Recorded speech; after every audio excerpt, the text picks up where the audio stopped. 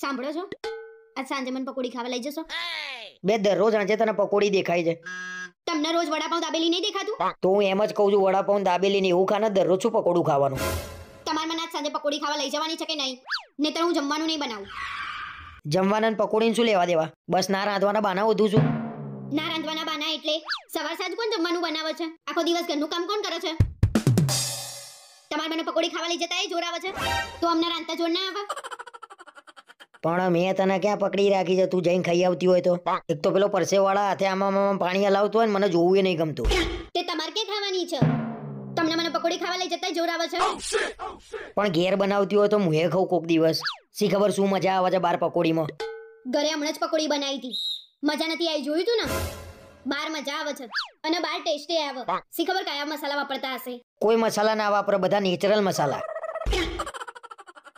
મૂકો ને તમારી ગંદાતી વાતો ઘણી જગ્યાએ સારી મળે છે.